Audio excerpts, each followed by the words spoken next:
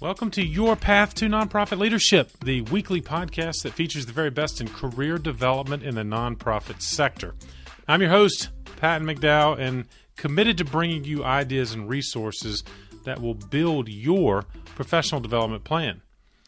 First of all, thank you for listening. If you want to be a nonprofit leader or maybe just more effective in the leadership role you have now, you're in the right place.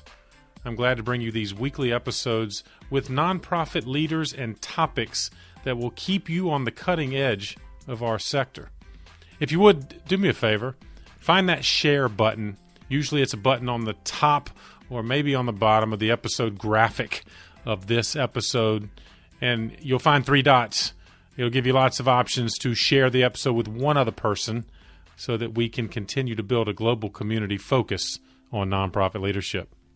Well, I've got a special episode for you, and I hope to turn it into a resource that you can contemplate and reflect upon as you drive along, or jog along, or run along, whatever method that you multitask around podcast listening. I want to give you something to think about. And I hope the takeaways from this episode will help you evaluate and, in fact, improve your nonprofit leadership. I've been fortunate now to work with almost 250 nonprofit organizations and their leaders. And of course, this podcast has been a fascinating opportunity to interview now over 120 nonprofit leaders from around the world. And it has sharpened my focus on the key characteristics that I believe make the best nonprofit leaders succeed and I'm hopeful that you'll listen and it will give you something to think about, not only in terms of improving your areas and skills and experiences, but think about these things and how you might bring them to your organization, either your current nonprofit or perhaps your future nonprofit as you build a plan. Now, a preface I'll give to these concepts, there are five of them around which I believe the best nonprofit leaders focus. Uh, there is a clear characteristic that allows them to focus on these five things, which is carving out time for strategic thought and strategic leadership.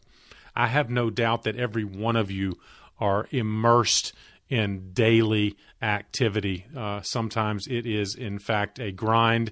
It is overwhelming. You can be drowning in tactical activity just to keep your nonprofit organization in motion. And I get that. Let me offer this insight as well. If you contemplate having a conversation with me about your nonprofit leadership journey, these are the topics we'll talk about. And you may notice on our homepage there's an opportunity to schedule a no obligation conversation about your organization or your leadership journey. And I really enjoy that. And I've been fortunate again to work with and coach many top nonprofit leaders, and we'll be happy to talk to you about your journey as well. These are also the topics we discuss in our mastermind programs. So, yes, I'm going to do a commercial for that. We're in our fifth cohort right now, having fantastic conversations with really impressive nonprofit leaders from all over the country.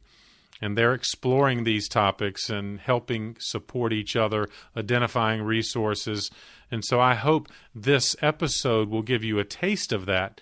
And like I said earlier, give you a chance to self assess. Where do you fall in terms of these categories if you are assessing yourself? And what might you work on to help you be even more confident as a nonprofit leader? All right, let's jump into these. The first of the five priorities that the best nonprofit leaders manage to focus is what I call sharpening their vision. The best leaders can effectively define and articulate success for their nonprofit, often in ways that many organizations do not. And let me explain that further. Uh, to me, there is a sequence of articulation of the best nonprofits, and their leaders do this by articulating a mission, vision, and then action. Again, mission, vision, action. Most nonprofit organizations, if I go to your website right now, I'll have no problem finding in some poetic fashion your mission statement. In fact, what exactly you do as a nonprofit organization. However, the best nonprofit leaders take that articulation of mission and make sure they elevate to an explanation of vision. Where is their nonprofit organization going? I'm convinced that those organizations rally support, both financial, volunteer, and in the community, because they can articulate clearly a vision for success. They're proud of what they're doing now. Their mission statement is clear. They're doing that program, that service, that outreach that their mission articulates. But they can also plant a flag into the future and say, hey, we're serving a thousand children right now in our community but we know there are 10,000 more that need us. In the next five years, we're going to get to half of them. Notice again, without overwhelming the listener with numbers, the articulate and successful nonprofit leader plants a flag, sets a goal, and articulates a vision that someone can understand. Wow, it's great that you're serving a thousand kids, but I didn't even know that there are 10,000 more that need this type of service. That to me is a wonderful articulation of vision that the best nonprofit leaders can do. And I bet you can do this too. You can translate this mission, vision, action formula into your organization's context. Mission's what we do, vision is where we're going. There is a genuine need, and we're going to get there. Maybe we're going to get to half of them in this whatever time period you feel comfortable and confident to share. But notice the third element here. Third element is the best nonprofit leaders can provide a compelling hook if you will, as to why your involvement, your financial support, your understanding is crucial right now. And so, while our goal of vision might be to get to half of these 10,000 kids that need our services, we need you right now because we're setting up a new workshop in the eastern part of our community that literally will allow you to get involved as a volunteer or a donor or some sort of action step. What is the call to action that you can articulate so that someone can say, Wow, I'm learning from you, but now I see literally how to get involved? Again, the best nonprofit leaders can articulate that mission, vision, action. In fact, I find it to be a highly effective one pager to share with your organization leaders, your colleagues, your staff, your volunteers everyone should have a sense of this ladder, if you will, of mission, vision, action, and everyone will then be more effective articulating what you, as a nonprofit leader, need to start with, which is sharpening your vision for the organization.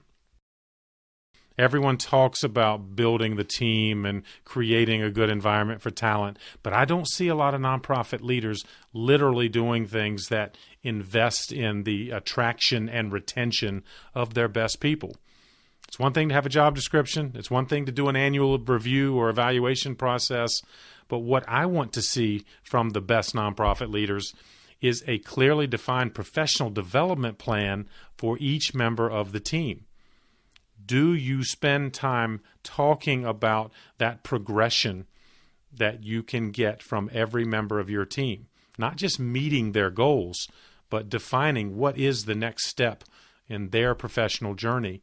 Because if they get better, the organization gets better. I love to see specific written professional development goals that incorporate assessments of each individual, but allows them to define here are some skills and experiences I have that I can leverage even further, and here are some areas I need to get better, whether that be knowledge or skill. And each of those things can be broken down, and we can talk about tangible methods and means to get better. Sadly, I don't see that in a lot of nonprofits. I see the evaluation, I see what is often a missed opportunity to take the talent we already have and help them get better. You know, one way to do that that I've seen some nonprofit leaders employ very successfully is encouraging every member of your team to identify a comparative peer within their sector, within the community. In other words, somebody doing their job outside of the organization. So they have someone to bounce ideas off of and to learn from. In fact, what I did in some of my nonprofit leadership days was ask each member of my team to identify someone who is in a similar role that that you know can relate to the work they're doing, but also to identify an aspirational peer. Who is the best in class at doing your job, a similar organization. So, in other words, I worked for Special Olympics right out of college, and I was the program director for a state level organization. And so, what I did quickly is ask folks at the national or international office, I asked colleagues that I met at conferences or in other settings, who is considered among the best program directors in the United States, in the region. You know, and it, depending on your organization, your sector, you decide the scope, but encourage you as well as your team to identify the best in class. And I had a fantastic networking opportunity because I was able to connect with the woman in Nebraska or the program director in Nevada. Uh, that had been identified. They were experienced, they were veterans, and what I found out best of all is they were generous with their time and advice. And so imagine if each of your team members has identified both comparison and aspirational peers, the support they get, and they bring that feedback back to your organization, which reinforces your commitment to your talent and a mindset that is focused on talent development. Now, the second part of this focus on talent is, of course, your board of directors. And I hear it over and over from nonprofit leaders. They struggle with how do I find new and maybe more importantly, more effective new board members?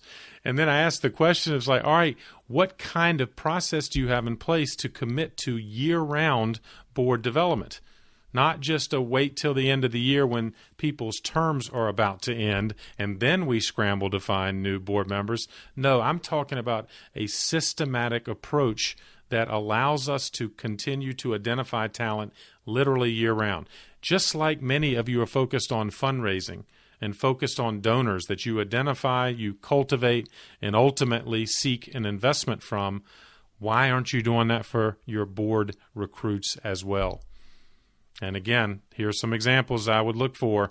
One, do you have a, matrix, if you will, assessing the skills and experiences and demographics of your current board of directors? I find a lot of nonprofits don't do that. And that should be a first step. What do we have in terms of race and age and gender and geography and professional skills and experiences?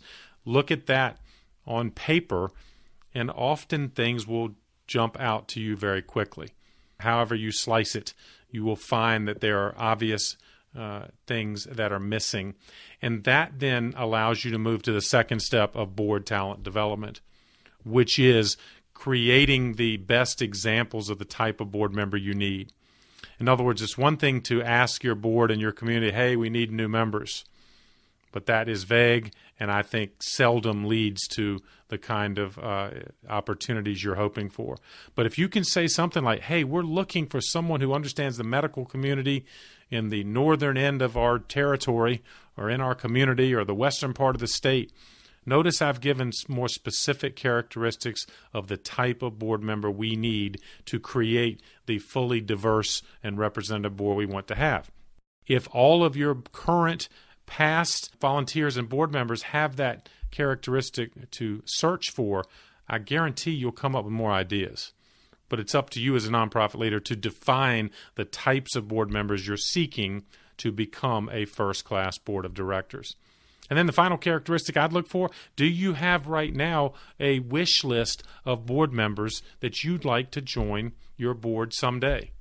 If you could put together the literal all star board of directors for your nonprofit, who would be on it? It's a great brainstorming exercise for your current board.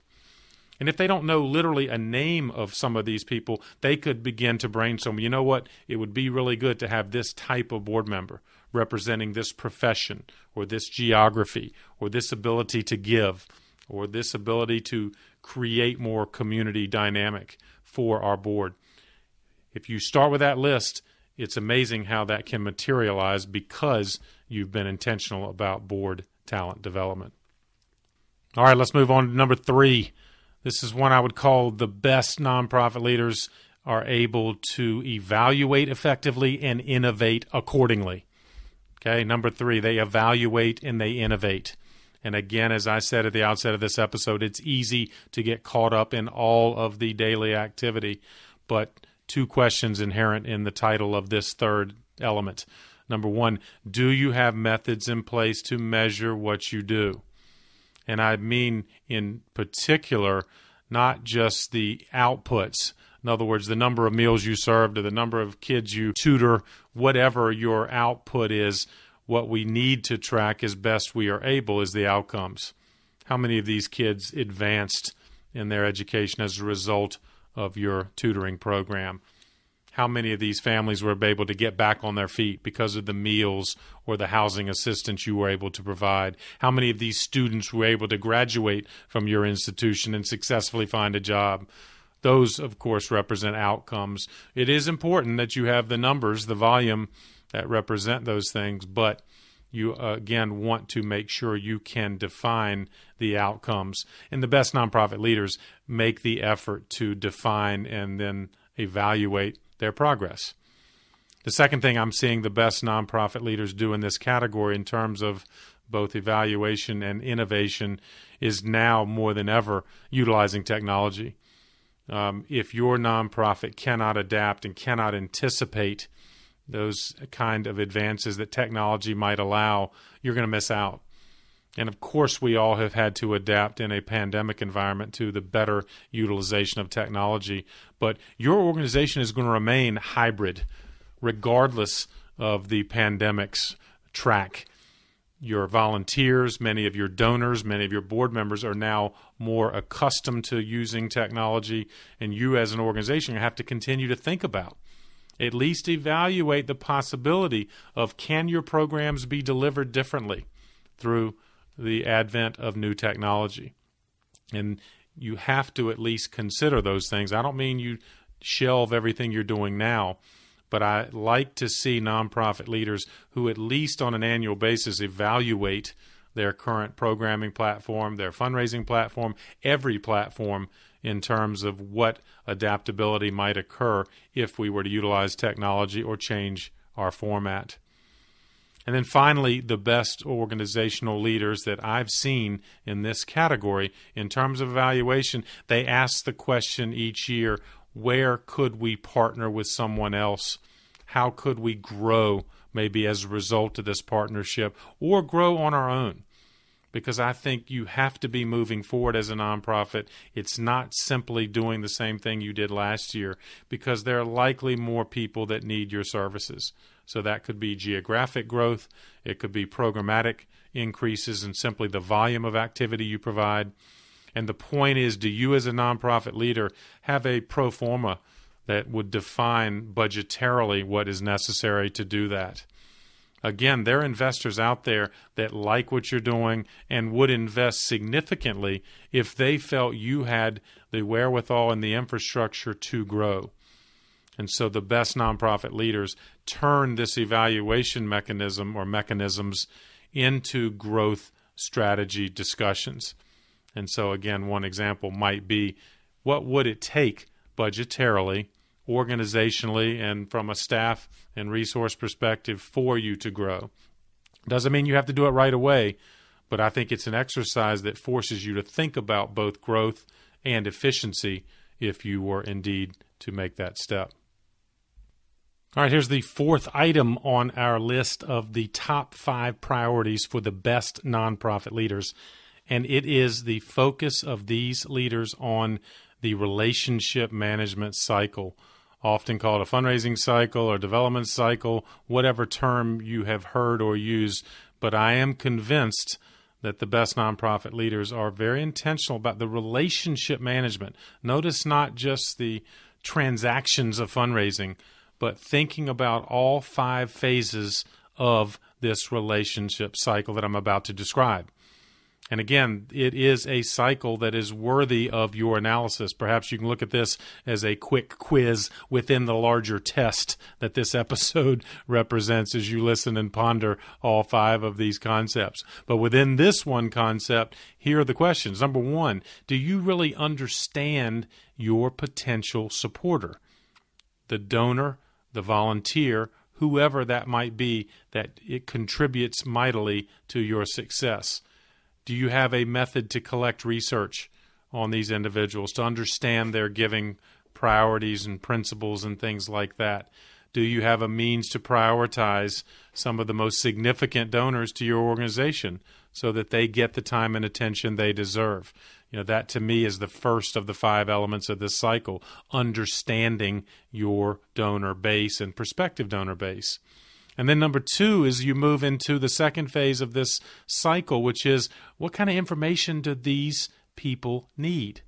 These individuals, in some cases, they represent businesses or foundations, but it boils down to individuals.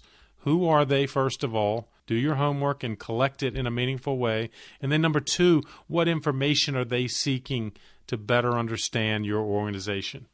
If you've taken your time to listen and learn from your key supporters now and have created infrastructure gathering this data so that you can better understand and build upon these relationships, then you can move to the second phase of this cycle for relationship management, which is, of course, how do you provide the right information? If you know who they are, you understand a bit of their motivation to support you, then you can feed them the type of information they need to better engage with your organization. Now, of course, just because they have more information does not assure that they're going to pull out their checkbook and support you financially. And that's why we have to move to the third and evaluate the third element of our organization's cycle of relationship building. And that's how do we engage these people?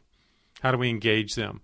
We've identified them through our research. We've developed and delivered information that they want to better understand what we're trying to accomplish. And now we need to bring them more into the fold.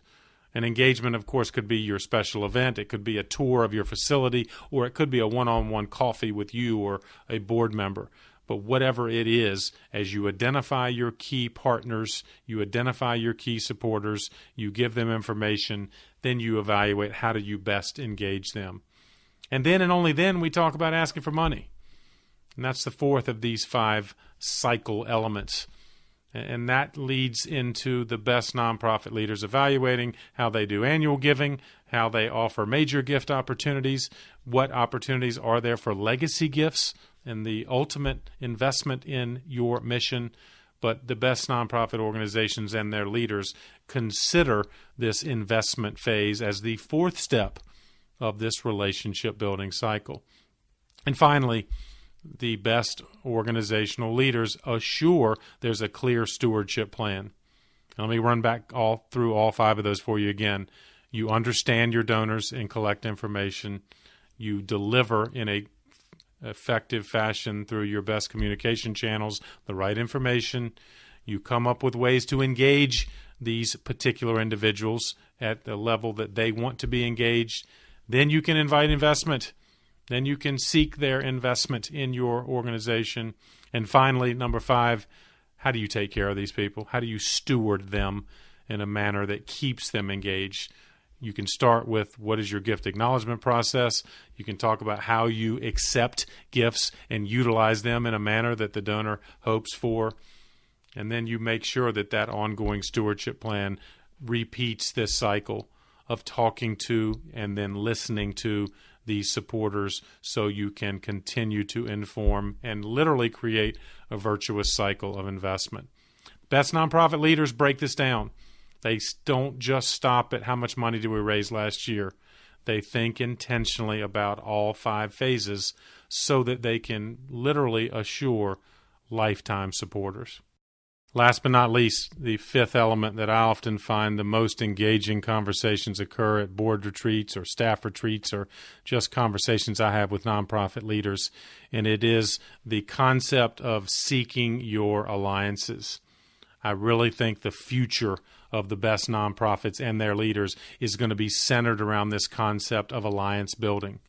Funders recognize that they can't invest in every good cause so increasingly, they will look for organizations that are creative and able to work together with other nonprofit leaders in their organizations.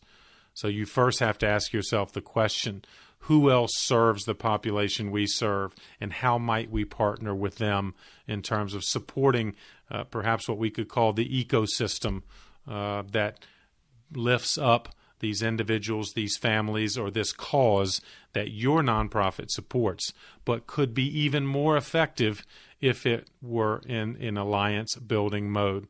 All right, so what do you do with this? Well, number one, it is in fact being a student of your sector, your community. You can't be heads down only focused on what your nonprofit is doing.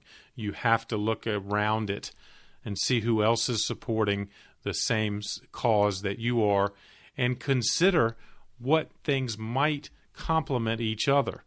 An exercise I often suggest is you're likely partnering with organizations right now.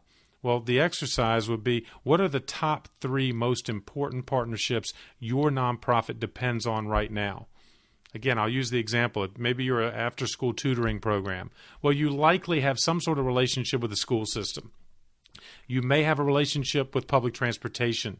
You may have relationship with other key funders. The point is, identify those key alliances and be intentional in your board and staff planning discussions. How do we make those relationships better?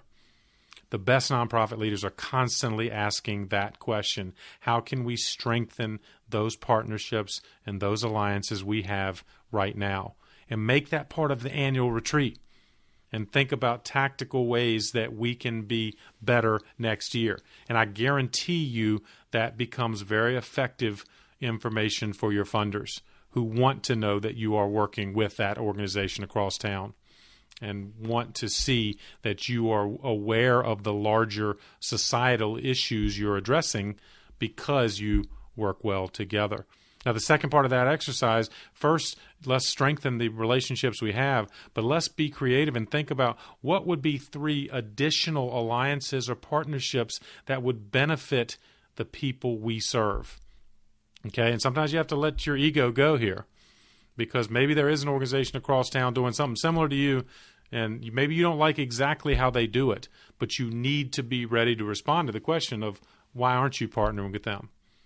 And it doesn't mean you have to do a full on merger, but maybe there are complementary services, maybe there are programs you could do together that they cover a certain territory that you don't. The point is, are you as a nonprofit leader proactive in considering alliances that might occur. And maybe it's not right to do right away. This might be an opportunity three years down the road. But I'm convinced the best nonprofit leaders literally spend time each year evaluating their current partnerships as well as those partnerships that might offer a strategic opportunity and be very much mission focused. Because that's sometimes what it boils down to. And yes, sometimes it might mean that our organization needs to merge with somebody else. If that's what's best for our community and the people we serve, you have to be nimble enough to consider that alliance. I think ultimately that kind of alliance mentality is what's going to take the good organizations into that category of being the best organizations, the leaders in their communities, and you, as that organizational leader, will benefit accordingly. Well, I hope this solo episode has given you lots to think about. And I'm uh, eager to share these concepts because I've learned from some of the best nonprofit leaders in our sector all over the world. And I hope this will help you reflect upon your leadership and things because I know you wouldn't be listening this episode or this podcast if you weren't committed to getting better.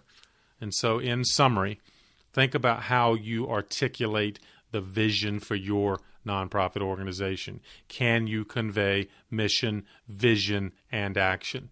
Number two, what are you doing to develop the talent and professional development of your staff and your board? Do you have mechanisms in place to assure that is a year round activity, literally a cultural implant that your organization will certainly benefit from? Number three, how do you truly evaluate the outcomes and outputs of your organization? And maybe more importantly, not just evaluate your organization, but do something with it. How might you innovate? How might you utilize technology? How might you build, grow, expand as a result of thoughtful evaluation? Number four, what are you doing to address and improve all five phases of the relationship building cycle. How do you best identify your supporters? What information do you provide? How do you allow them to engage in your organization? And then how do you seek an investment in an authentic way and then take care of them once they have done so? And finally, number five, seek your alliances. What are you doing to build the partnerships and alliances you have right now as a nonprofit leader and your organization with others in the community? And then also, equally important and perhaps even more fun to consider, what kind of opportunities exist in your community, in your region, in your state, even across the country to build an alliance that'll help you achieve your mission even more? Pick three. Pick three potential alliances that you could explore over the next year and see where it takes you. As always, thanks for listening, and don't forget to check out the show notes for this episode. It's number 127. Just go to the podcast or the news page at patmcdowell.com. And by the way, you'll notice the podcast page is the new and improved podcast page. You can find out more information about this episode, but maybe equally important, you can find information about all 127 episodes of this podcast and you can search and scroll for topics that interest you, and certainly a fantastic list of guests that we have been fortunate enough to have on this show.